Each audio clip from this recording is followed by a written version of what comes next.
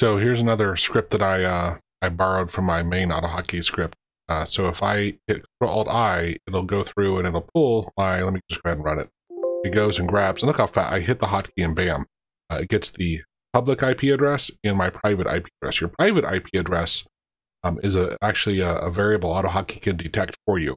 The public one, what we do is uh, we call a function here, this get IP.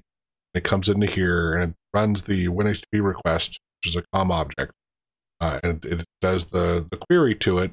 Got a couple headers here set. You know, I can test if these is needed. I'm not sure if it is. Um, and then uh, if the response is not an error, if it is an error, it's going to show this message box. I probably should have this bracketed and then have it just return. I I'll add that. Let's go ahead and add that now. So add that message box, and we'll add return.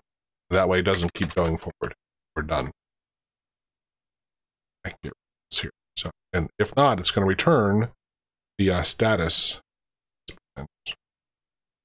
So um, I, the problem is I don't have it coming up with an error, so I can't test this above part, but that should be fine. So let's uh, run it. Yeah. Hi. And there we go. It's also, by the way, if you notice here, I copy it all to my clipboard. That way, um, it's on my clipboard. I can just paste it wherever I want, in case I want one or the other. I, I didn't like have to copy the message box, then go paste, then go grab what I wanted. This way, it automatically shoves it to uh. Let's go ahead and let's comment these two out and let's launch it and uh. There we go. So I don't I don't even need those, right? That's just two less lines.